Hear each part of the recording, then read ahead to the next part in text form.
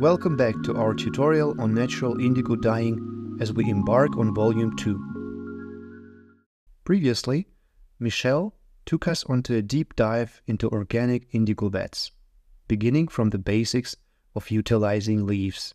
He shared his unique techniques, whether crafting a vat with his special compost blend, using crushed and dried leaves in a 1, 2, 3, 4 vat process, or transforming dry indigofera leaves into various forms of extract like paste or fine powder. Yet, for many enthusiasts, the indigo dyeing adventure starts with buying powdered indigo from reliable sources. The quest then becomes finding a dyeing method that meets their needs and lifestyle and respects both the crafter and the environment. With over three decades of refining organic vat techniques, Michel is here to pass on his wealth of knowledge. Look at your indigo powder. Its blue component is called indigotin, characterized by this chemical formula where oxygen atoms form double bonds with carbon atoms.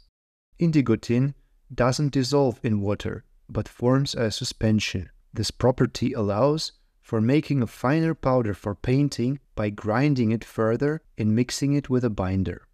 However, the challenge arises when you wish to dye fabric necessitating the transformation of indigo into a water-soluble form. How do we achieve this? Michel's pioneering 1, 2, 3, 4 vat process magically transforms indigo compost into a yellowish solution known as leuco-indigo deriving from the Greek term for white. This transformation requires a reduction process, essentially the reverse of oxidation, to add two hydrogen atoms to the indigo molecule. Dyeing process allows the leuco-indigo to penetrate the fibers deeply. The leuco-indigo is then reoxidized to its original insoluble blue form, indigotin, embedding the dye firmly within the fabric. This integration ensures the color's vibrancy and durability, embedding the blue deep within the heart of the fiber.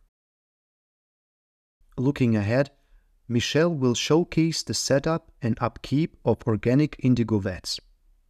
We'll delve into dyeing techniques for various textiles, achieving shades from deep to light blue and exploring how indigo interacts with mordants to create lasting greens and purples.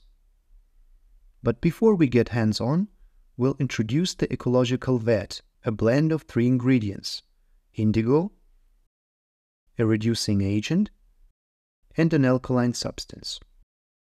Michel's approach is a modern twist on traditional methods, relying solely on organic materials except a mineral, lime, as the alkaline backbone. We'll explore natural reducing agents from fruit rich in fructose and pectin to henna leaves and madder roots, each offering unique properties for dye reduction. For beginners, a simple starting point is using fructose, available from a grocery store due to its practical reducing qualities. Michel will lead us through crafting a basic yet insightful 1-2-3 fructose vat, combining 1 part indigo, 2 parts lime, and 3 parts fructose, laying down the fundamental principles of organic vat dye. Let's give a word to Michel as he unveils his groundbreaking approach to creating a long-lasting, almost permanent organic vat. The 1, 2, 3 vat. So the second method to prepare indigo um, extract is the 1, 2, 3 vat.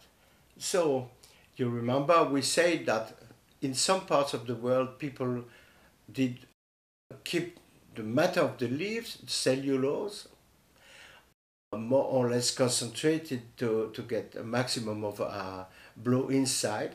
In other parts, from the beginning of the process, people did quit the cellulose to only keep the extract, the blue extract called the indigo, indigo pigment or indigo extract.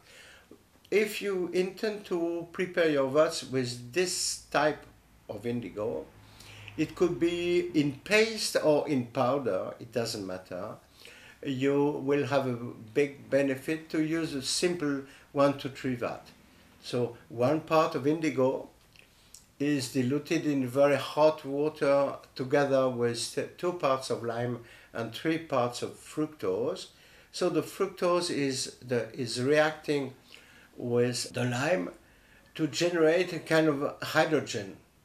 A little bit of hydrogen is liberated by the degradation of sugar with lime. So the indigotin, which is in suspension in the solution, is hydrogenated in a way. So it means it is put in solution. And that's it. Uh, it takes five minutes to be prepared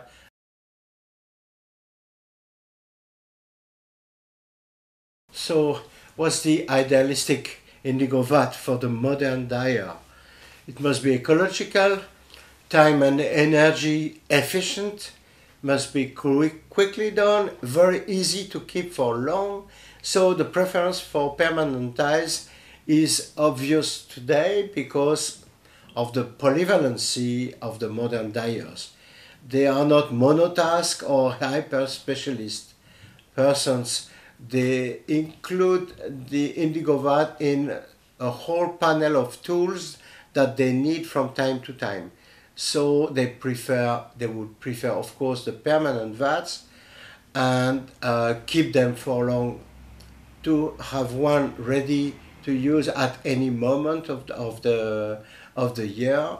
So that's the reason why we did this uh, tutorial so only two met a very very simple method to make the indigo from your garden plant, from your own, and two different methods to use the two types of indigo dye stuffs from leaves uh, crushed and dried or composted, the 1, 2, 3, 4 vat, or from indigo pigment, indigo extract, the 1, 2, 3 vat. So with a, a minimum of cautions like the floating lid being the most important, you will protect your vat for long and enjoy your indigo vat all along the year.